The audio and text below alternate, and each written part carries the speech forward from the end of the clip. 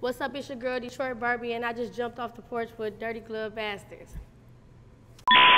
Rich bitch, rich shit. Make you come in 30 seconds with the grip. No penetration, all he got in was the t- All right, today we got Detroit Barbie jumping off the porch with us today. What's the motherfucking deal? How you feeling today, sis? I'm feeling good. For sure. It's a pleasure to have you here with us today. Appreciate you. So what you out here working on in Atlanta? So out here in Atlanta, I'm working on my single that I'm doing right now. It's called Rich Bitch Rich Shit.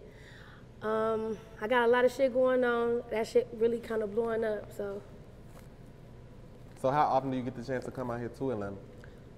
to be honest, I be in Atlanta a lot for real. Like I've been traveling here. This is like my second home for real. Um, but this time it's just on another, you know, another note. But shit, sure. I'm out here a lot. For sure. And how would you compare Atlanta to back home to Detroit? Really for real, that shit kind of the same. Like for real, for real.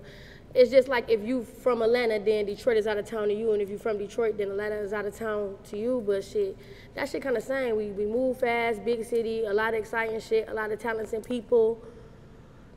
Uh, so yeah, scammers and all that shit too. but I mean, you know, it's all the same thing. Same thing in Detroit though too. You're right. That's what I'm saying. so how would you describe life back at home in Detroit? Um, life back at home in Detroit is like really what you make it for real. Uh, honestly, I came from, you know what I'm saying, the trenches, you know what I'm saying? So, you know, I've been, it's kind of cool, but It's just like, uh, yeah. I feel that. You know what I'm saying? It's cool, but I mean, it's what you make it for real. I That's why I'm that. here. I feel that. So what part of the city are you from? I'm from the west side of Detroit. I'm from the west side. I'm definitely a west side female. I'm from the Dexter Linwood area. Okay. How do you feel each side differs from the city? Like how would the west side differ from the east or the, you know what I okay, mean? so, I mean, we all we, we all lit as fuck for real, for real. But I mean, it's like certain things like the high label is like you money, motherfuckers get money on the east side. On the west side, we bougie, so it's the same thing. But it's like you know what I'm saying. They a little, you know, trenchy, a little trenchier than you know what I'm saying the west. But I mean, I fuck with the east side and the west side, so. That's hard. How would you describe your childhood coming up? Um, my childhood coming up was really cool for real. Um, I was a cheerleader and uh, majored all my life, so I've been entertaining for forever. Um, I guess it was cool. I liked it. My, I mean, Detroit Barbie. I liked it. My little Barbie dolls. I had my doll houses. Shit wasn't really that bad in my household. I mean, shit. My dad left when I was like 12, but and then shit got different, a little bit different. But my childhood wasn't all that bad though. That's hard. When would you say you jumped off the porch? When? Right motherfucking shit, right before I walked in this bitch. but I mean, it's like, no. but um, I say like two years ago though, honestly, because like shit, um, I didn't even know I was gonna be no rapper for real. Somebody was just like, we gonna freestyle in the car, and I'm like, all right. So we playing around, and they're like, you kind of sound good. So then this one dude uh, was like, come to the studio, and do a song. You know what I'm saying? Do a song, whatever. So me and my friends went playing around, and I was the only one that really could really rap. Everybody else sounded like, you know what I'm saying, crazy. And they was like, bro, you really should do this. Like, and I wrote it. The verse made sense. It, everything made sense. And they was like, bro, you should write. So and do music. So then I started doing it, and like, this was two years ago, and I'm here now. I'm like, You never thought it'd happen. no, I didn't think I was gonna be no uh, no rapper. I wanted to be an actress for real.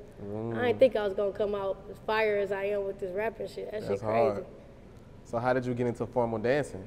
So I got into formal dancing. when I was about like 18 years old, for real. Um, dancing is just the same thing like it is here in Atlanta. Like it's some money in it in, in Detroit for real.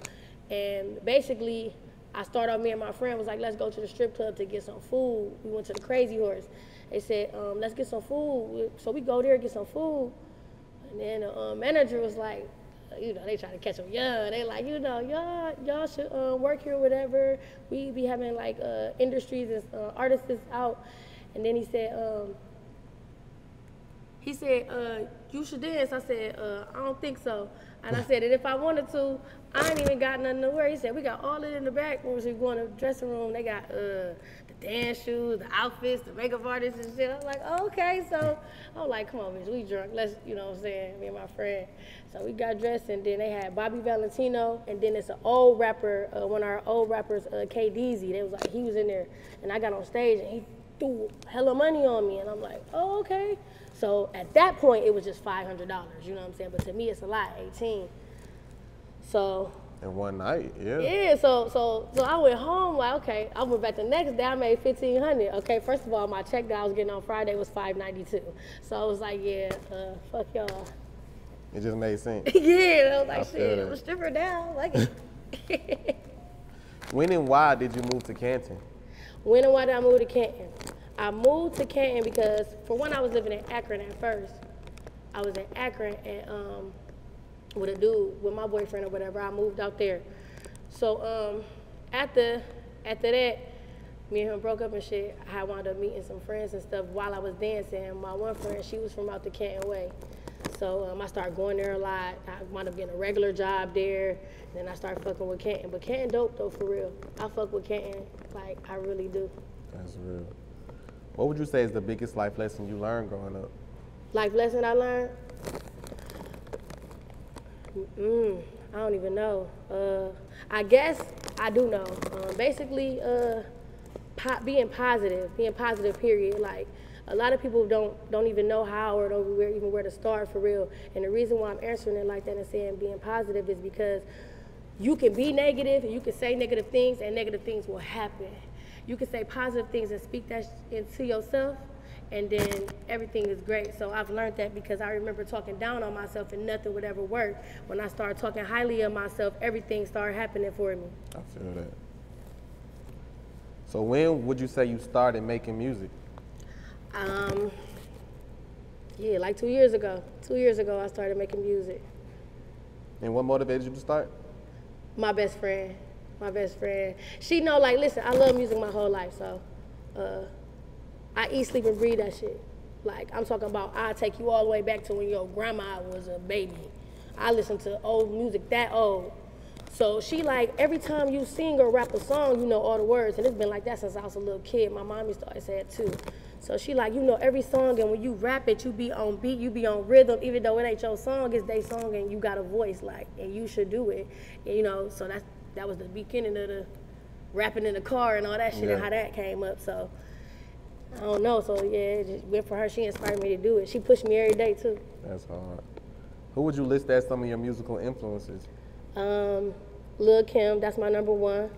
Uh, Megan Thee Stallion, uh, Mulatto And when would you say you started taking music serious? this year, the beginning of this year, when I got like my new managers and stuff like that. And then it made me start taking it serious because they believed in me, so they made me believe in myself. For sure. What are your current thoughts on the rap game right now? My current thoughts on the rap game right now, I don't know. Uh, things have changed so much. Um, I still think it's lit, you know what I'm saying? I think all music is lit, so uh, it's different, definitely from old school. I'm a, definitely an old school lover. That's me all day long. I can't even lie to you. I'm a 90s, I'm a 90s girl. But the new school had me turned though. It keep me, it keep me feeling alive. Yeah. How do you feel about the state of female rap right now? It's dope as fuck. We lit. We all lit. We all lit lit. We taking over for real. Yeah. And that's dope, man. That's dope as fuck. What would you say is the biggest risk you took that paid off? Becoming a stripper. I ain't gonna cap. That's real though. I ain't gonna cap be, becoming a stripper because I mean that's a big risk to take. It's hard to tell your family that. It's hard to get out there, and if a family, family member come in, it's hard to run out. You know what I'm saying? It's hard. Yeah. so that's a big risk for me. And, uh, I mean, it's getting me where I need to be. It's put me in the right places. When I'm, uh, you know, when I'm fucked up, I can always go and do it. You know what I'm saying? So.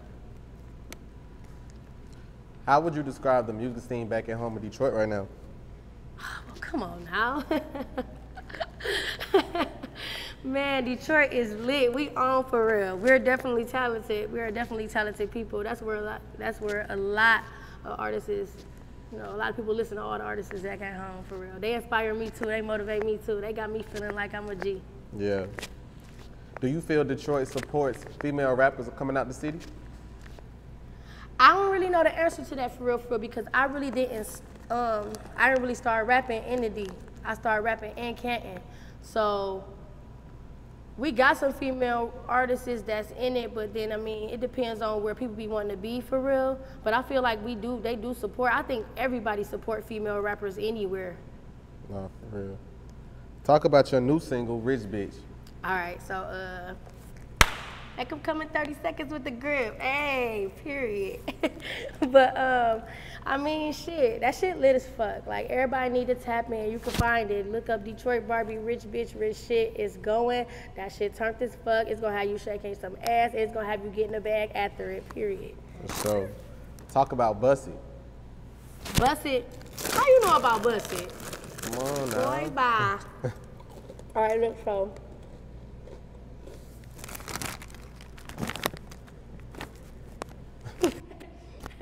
so look though, bust it, bust it down, make it clap. If you were free, ladies get that money, turn them up, make them spend 50. 50 what? Bands. Period. Bust it. I know that's right. What about money, power, respect? Now that's my motherfucking shit. Y'all already know that's probably your favorite too. Look at you, smile. That was your shit. Well, um, money, power, respect. Um, that was actually written by a very close friend of mine. Um, we really was in there, you know. I love Lil Kim, so we was gonna, we wanted to uh, reiterate money, power, respect. Ignite, Right, yeah. money- yeah. So basically, we put it and flipped it into my own way. And then I was like, I want to kind of come hard so people can understand that I can come hard too. I don't just be all, you know, I don't always be with the animated twerk club rap. I can really spit for real too. So, Are there plans for an upcoming project? yes, yes, yes, yes. Um, for a minute, I wanted to do an album, but I ain't gonna lie, I've been tearing up the samples. So I think I'm gonna do a mixtape first. So I'll be able to, you know what I'm saying, get get everything out there because I've been sampling up some stuff because we needed to. Somebody had to do it. Yeah. You feel me? So uh, yeah. Talk to us about your grind as an independent artist. Ooh, we on the grind right now. Talk about this grind. Nigga almost didn't make it, but we're here. You know.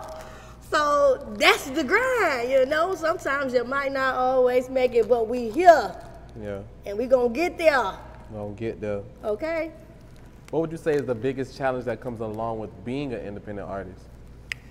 Ooh. Um, judgments, being able to have tough skin, being able to being able to just mix the good with the bad, figure out which one is outweighing, uh, living a regular life and then adding that on to it. Uh, man, it's hard work. Period. Having to be away from your kids. I do. I am a mother, so having to be away from your kids and have to look at them and, and get them a kiss on the forehead and let them understand that, that you out here doing it. You know what I'm saying for them. But um, leaving a nine to five. don't know when you're gonna get your next check Yeah. You know, but that's what the strip club for.